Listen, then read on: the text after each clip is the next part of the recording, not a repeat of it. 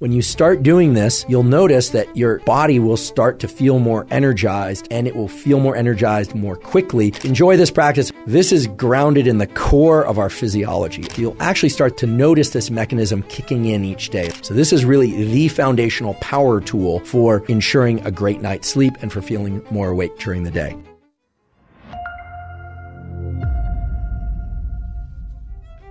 Most people, I believe, wake up sometime between 6:30 a.m. and 8:30 a.m. But regardless of when you wake up in the morning, one of the first things that happens is that your body temperature is increasing. And that's just going to happen naturally. That increase in body temperature, in turn, causes an increase in the release of a hormone called cortisol. Cortisol is often discussed as a stress hormone, but it's not just associated with stress. It also enhances your immune system, provided cortisol is elevated at the right times. And the right time for cortisol to be elevated is when you first wake up in the morning. That increase in cortisol is also going to increase metabolism. It's also going to increase your ability to focus mentally and for you to move your body. One way that you can ensure that that cortisol peak occurs early in the day, right about the time that you wake up, is to view bright light, ideally from sunlight, within the first 30 to 60 minutes after waking. That's right. View bright sunlight within the first 30 to 60 minutes after waking. The reason for that is very simple. You want to trigger that cortisol increase to occur very early in your day. And you don't want that cortisol peak to happen later, which is what will happen if you wait to get outside and see sunlight.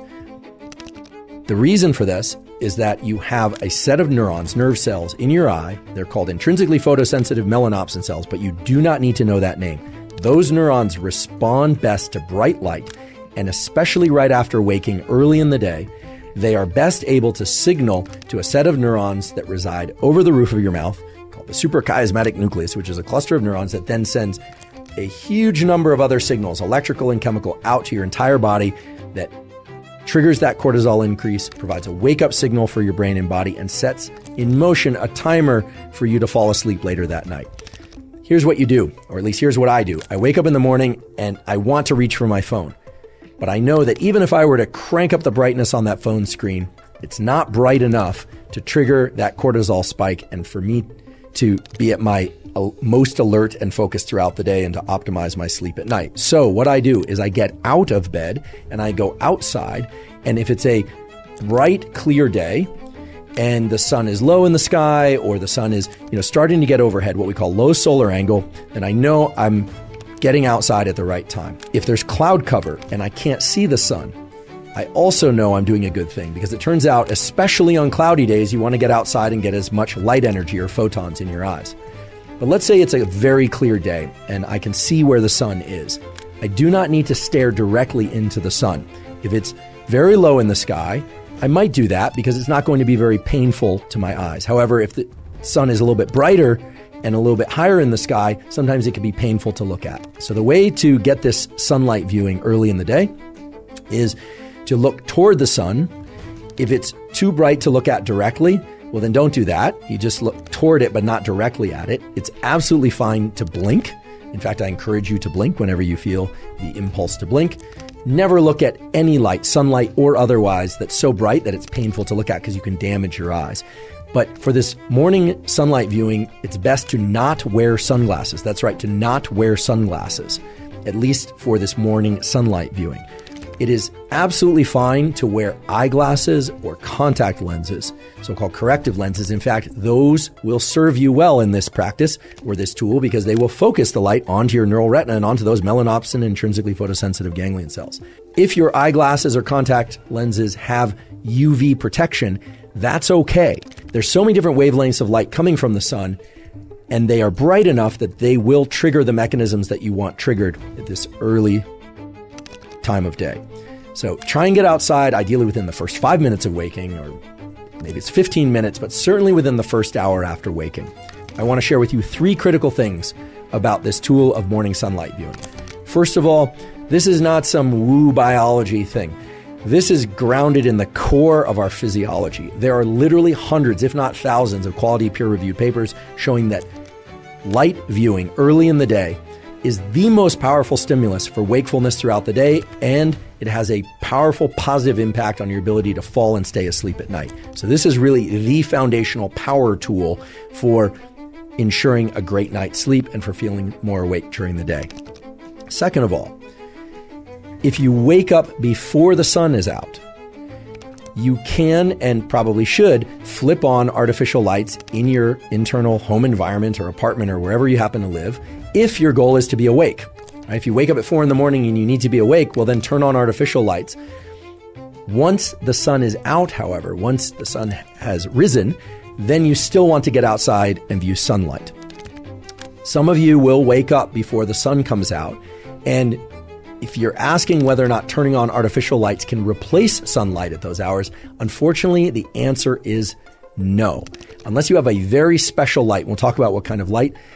The bright artificial lights in your home environment are not, I repeat, are not going to be sufficiently bright to turn on the cortisol mechanism and the other wake up mechanisms that you need early in the day. The diabolical twist, however, is that those lights in your home or apartment or even on your phone are bright enough to disrupt your sleep if you look at them too late at night or in the middle of the night. So there's this asymmetry in our retinal, our eye biology, and in our brain's biology, whereby early in the day, right around waking, you need a lot of light, a lot of photons, a lot of light energy. And artificial lights generally just won't accomplish what you need them to accomplish. But at night, even a little bit of artificial light can really mess up your so called circadian, your 24 hour clocks, and all these mechanisms that we're talking about. So if you wake up before the sun is out and it's still dark, please turn on as many bright artificial lights as you possibly can or need, but then get outside once the sun is out. On cloudy days, you especially need to get outside. I repeat, on cloudy days, overcast days, you especially need to get outside and get sunlight. You just need to get more of it. Now, how much light and how much light viewing do you need? This is going to vary depending on person and place, literally where you live on Earth, whether or not there's a lot of tree cover, whether or not you're somebody who has sensitive eyes or less sensitive eyes. It's really impossible for me to give an absolute prescriptive, but we can give some general guidelines. In general, on a clear day, meaning no cloud cover or minimal cloud cover, you want to get this sunlight exposure to your eyes for about five minutes or so. Could be three minutes one day, could be seven minutes the next day, about five minutes. On a day where there's cloud cover, so the sun is just peeking through the clouds or it's more dense cloud cover, you want to get about 10 minutes of sunlight exposure to your eyes early in the day. And on days that are really densely overcast or maybe even a rainy, you're going to want to get as much as 20 or 30 minutes of sunlight exposure. Another key thing is do not forget about, just don't try and get this sunlight exposure through a windshield of a car or a window, whether or not it's tinted or otherwise. It takes far too long. It's simply not going to trigger the relevant mechanisms. You would be standing there all day trying to get enough light into your eyes from the morning sunlight, and by then, the sun will have already moved from low solar angle to overhead, and it simply won't work for all sorts of mechanisms related to your circadian rhythm functions. So just don't try and do it through a, windshield, sunglasses, or a window. It's just not going to work. Get outside. If the weather is really bad or for whatever reason, safety reasons, you cannot get outside, well, then I suppose try and get near a window. That would be the last, last resort. But you really want to get outside to get the sunlight exposure.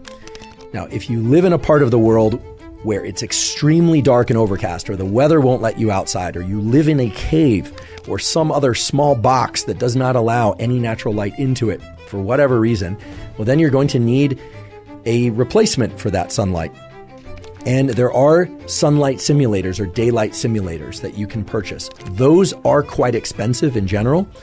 And Therefore, I suggest cheaper options that work just as well because they get just as bright. Things like ring lights that are sold in order for people to take selfies and this kind of thing. A drawing LED tablet will work pretty well. I actually have one of those and I put it on my desk all morning, even though I still get outside and look at sunlight first thing in the morning. Again, also, especially, I should say, on cloudy days. But get that morning light, ideally from sunlight and take into account all the specific points that I've given you here. And I should say, enjoy this practice.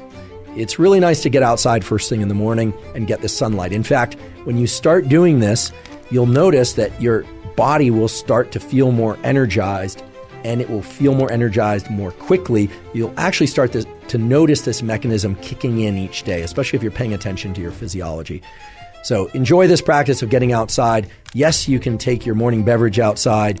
Yes, you can take your dog with you. In fact, animals intuitively know to get this morning sunlight. They actually seek it out at the right times of days. We human beings need to be told by podcasters and other people about the science that supports these kinds of practices. Our pets apparently do not. But get outside alone or with somebody, with your kids, with your dog. However, you go about this practice, make sure you do this practice at least 80% of the days of your life.